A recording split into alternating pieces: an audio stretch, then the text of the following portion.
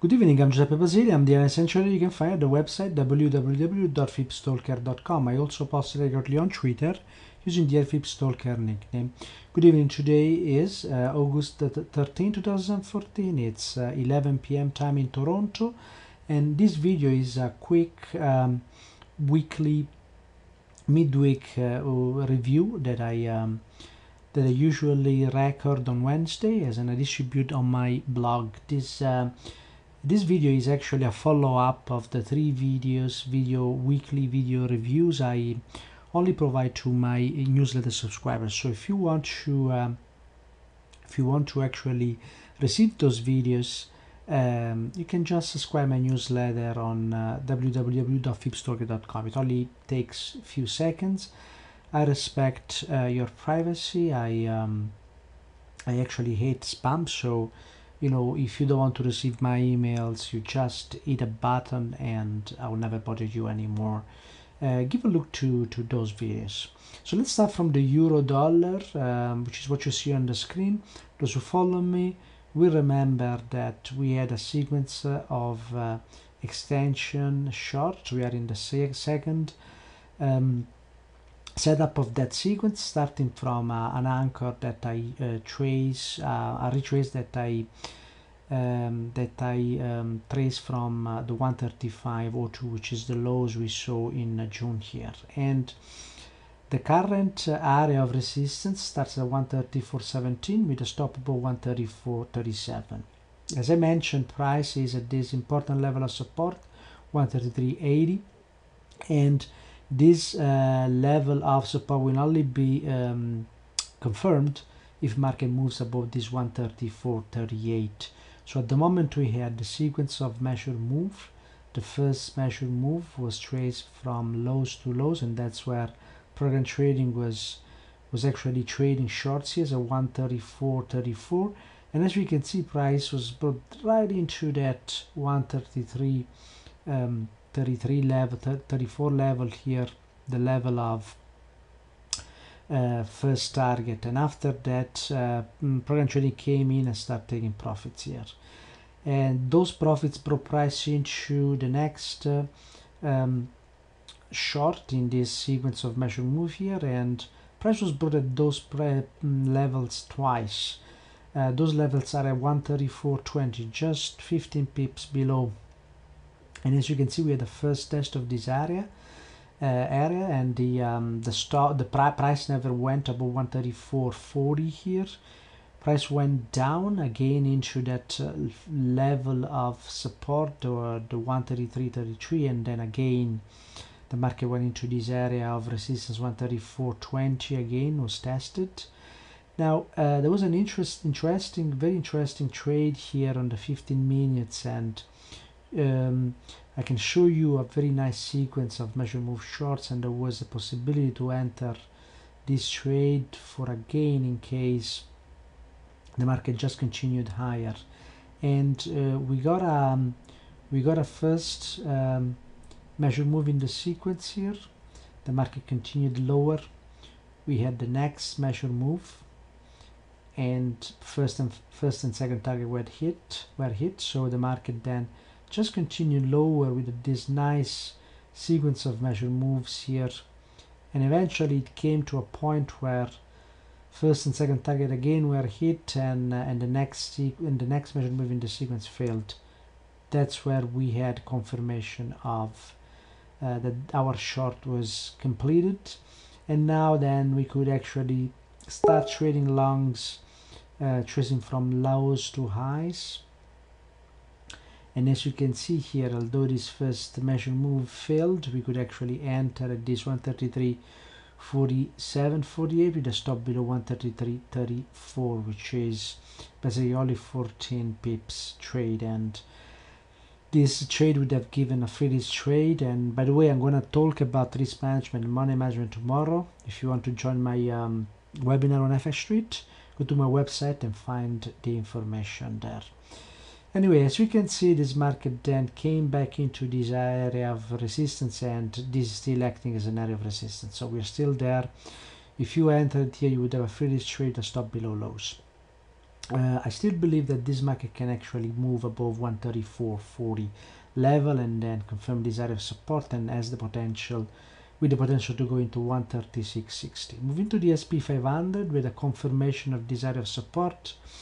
Price never went below 1 uh, 1890 uh, 25 1890 here. The low was actually 1890 25. Never went below that. Now this market has a first target at uh, two, uh, 2022 here 2023 and there is also a second target a little bit higher here at 2080 level so if we are uh, looking for a continuation higher i believe this market is going to continue higher you know that this market has 2500 as the next target and very very high time frame so any retracement should be a, a buy opportunities for this market. Typically the SP500 does not retrace a lot when uh, when uh, actually uh, there is there is participation. Funds they keep buying and you can see you you you will have moves similar to this so there'll be a lot of buying going on in the next day probably so moving to the dollar index the dollar index is still hovering around that first level of um, target here. And there is a very good possibility that we will see this market moving uh, lower into the next measure move long. This could actually correspond to the um, euro moving higher into that 136.60 area and this could be for the dollar index the 80.77 but could also be the 80.40 level here. So I think this market is moving laterally and there is a good possibility that uh, it will retrace instead of um, breaking out. But remember that the euro is still in a short so the euro has to confirm in order for the dollar index to continue to move lower. Moving to the gold mini we trace this level the one the 1302 the market did not go to test that level. There was a big front run here so i would not consider that level traded. So going to look at the four hour chart and see what happened there uh, and um, and uh, to do that I need to look at the four hour chart and I'm going to show this here. And let's see where this market is at the moment. So when we when I look at the 240 minutes here we need to look for uh, what the, what what is the support that this market is actually respecting here. And this could actually be a high to high from previous high here. And at the moment this is what I'm going to use. First target 1331 and second target 1342 moving to the US dollar to Japanese yen a lot of people uh, uh, were talking about uh, the US dollar the Japanese yen actually going higher but actually the opposite is happening here. And we know we knew that when we saw the sequence of measure move fails failing in this area then the market came back into this 10153 level. And we know that this 10153 level is quite a large um, um, has quite a large target here and that would be 10727 I also wrote recently uh, I've written recently um, Japanese economy um, review uh, along with the currency review fundamental uh, review for the currency and you can find this on fxstreet.com just look for Japanese economy uh, search for Japanese economy and let me know what you think about that article. Moving to the euro versus Japanese yen uh, I also hear people speaking about the euro continuing moving lower here but see there is no um, there's no point in this. This this uh, uh, this market is on top of this 136 136.80 area here. And when we look at the four hour time frame we need to remember that uh, the uh, highs to lows here has now pierced so mm, we already had an indication that the support was actually uh, working when we saw this uh, highs to lows here breaking and that would have been a, a good entry point as well an entry point uh, 136 um, uh, 58 60 with a stop below lows. And the market even came back to trade the way halfway back. So this is the current this is the current uh, trade at the moment we have to keep in mind. This is uh, lows to highs so 136.35 the first target is 137.25 with the potential to for a continuation higher in this market. So this market is not going lower is actually going higher at the moment and um, um, and actually longs are confirmed on the four hour chart as well as the daily chart. Moving to the pound versus japanese yen we have this um, sequence of measure move actually a traditional measure move here with um, resistance at 173 174 area which progress into first and second target. The next um, measure move in the sequence uh, on the daily time frame has failed already and that happened when we saw price moving higher today above 171.88 now this market has traced a measure move short as you can see here. There was a reaction at this 172.47 but I don't um, trust this uh, resistance level here. For me the sequence of measure move lower has failed here and let's see where we can get a, a new confirmation for this market. I will use an extension uh, an extension uh, short here from previous lows before the move um, lower. So we will have a confirmation when price gets above 171.42 the 43 here with a stop below lows. And on the 15 minutes time frame we can even um, look and see if there is a structure here in price. Unfortunately there is not a lot of price information here. Due to this um, big bar lower here. But we can uh, on the 15 minutes if you want to be very very aggressive can actually wait for 171.25 to be pierced on the upside and then you can enter long with a stop below lows here notice that uh, that uh, this this 15 minutes short is still in place. So if it's respected the market will actually continue lower. So we need to see price above 171.25 in order to uh, accept uh, longs here. Otherwise longs will not be accepted.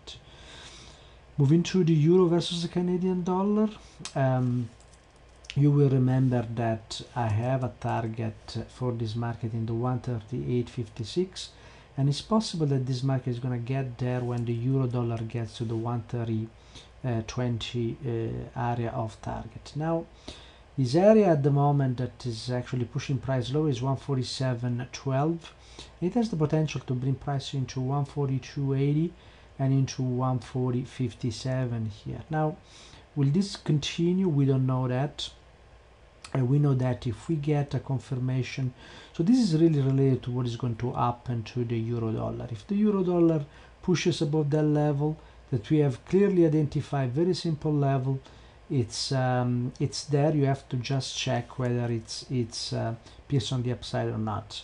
If that level is pierced on the upside there is a possibility for the euro and canadian dollar as well to continue higher. And that continuation would would get this has the potential to get this price into 150 um, there is also a level a very important level that we have to monitor on the daily time frame here and this is the um, trades from lows to highs. And as you can see this uh, area area of support as uh, is now into is now into um, is now playing. So we have to monitor and see what is going to happen on the four hour chart. So let's uh, let's look at the four hour chart and see uh, where uh, where price is there. So that we can actually uh, try to to to verify uh, whether this area is going to act as an area of support. So uh, what I see here is that there is a level an area of resistance here starting at 140 uh, 46.50 that probably did not come into play 146.43 146.50 well 7 pips 7 pips of uh, of front run. This might possibly be uh, have traded today. If that's the case we will see a continuation lower past this 145.38 which actually would be you know a confirmation of this area this area of, uh, of resistance here. If that does not happen and the euro actually resumes higher then this becomes a very good opportunity to buy and we would need to look at the 15 minutes here uh, if we want to become very aggressive always mind risk. Protect your capital. You know that uh, protecting your capital is job number one it's rule number one of trading. So be always very mindful and careful on what you risk and how you risk your money. Here we have a sequence of measure move on the 15 minutes and as we can see um, this is a sequence of traditional measure moves and the market uh, actually um, was able to bring price lower into this uh, second target. So at the moment if you want to get very very aggressive I don't I never recommend that. It's better you give time to the market to show what it is doing. Uh, but uh, you can actually use this um, one of this level the the one uh, 45 90 level as a level of breakout if you want to enter. When you if you do that be be very careful. This is very aggressive trade and that's not something i would recommend. If you do that exit alpha as soon as your uh, gain equals one unit of risk. So let's get a free this trade as soon as possible on this trade. That's my recommendation. Uh, moving to the uh, pound versus the us dollar here. Uh, this market has been uh, bearish as we would uh, expect it to be.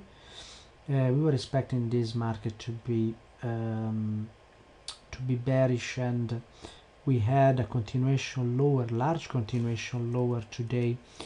Uh, I want to remind you uh, for this market the sequence of measure move we had and at some point we started trading in extensions here from lows to lows pressing to first and second target and then price just continued trading in extension. We saw a next the next extension here which price again into first and second target. And now uh, the market is above well well uh, uh, below that second target. So we could uh, anticipate a retracement into the next measure move. So this market can only reverse at this point if we get above 167 um, 57 and if price approaches 167.40 and then reverses actually we will continue moving lower. And this market has been very very strong but at the moment is aligning is being is being actually uh, dragged uh, down uh, by the euro area because of course you know UK may be recovering and uh, they may be ready for a for uh, for uh, hiking their interest rates but still lots of their economy depends on the euro and the euro is not doing well at the moment. So uh, the euro euroland and, and the euro area is not doing well. So that may be one of the reasons this market is moving lower. Now uh, i don't uh, although i study fundamentals and I, I, like to understand what's going on from a fundamental point of view i don't use that in trading. And to me only the, the, the levels these levels are important. If we get above 167 57 then we'll start trading this market on the upside. Moving to the australian dollar versus the us dollar you will remember that i'm waiting for this market to test 09080 now if we get a strength in the us uh, sorry weakness in the us dollar this market could just uh, reverse higher and retest the previous size we don't know that. We don't I don't anticipate that. I just trade the sequence of measurement I see, them, I see at the moment. And you will remember that it is from this high to this low. And last week we had this test 093.72. This was not able to bring price into first target. So I'm still waiting for that. And there is a possibility for this to happen if this inner measure move here with an area area of resistance starting at 093.07 with a stop above 093.23 holds. If that holds price, we should see uh, this uh, 092 uh, 29 trade and maybe price even lower at this previous uh, lows here.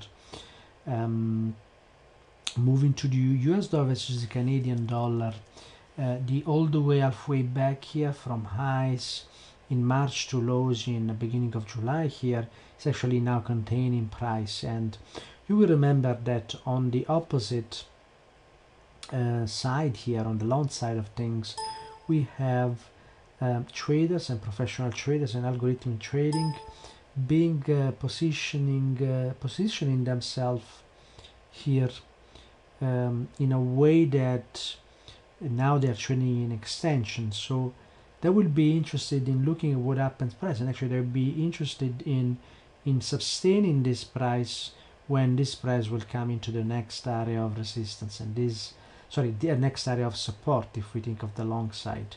And that would start at, at the 108.90 area and with a stop below 108.66 so if markets gets into this area and bounces off that is going to be uh, a good uh, you know entry point, uh, and we can study the Fibonacci we can use the Fibonacci stalking proprietary technique in order to procedurally test this area of support uh, starting at 109.90 if price moves below 0876 that's a confirmation that the US dollar will correct too and we might try to enter uh, shorts here with a stop above ice if you're if you're a swing trader uh, or try to enter short 10 year retracement.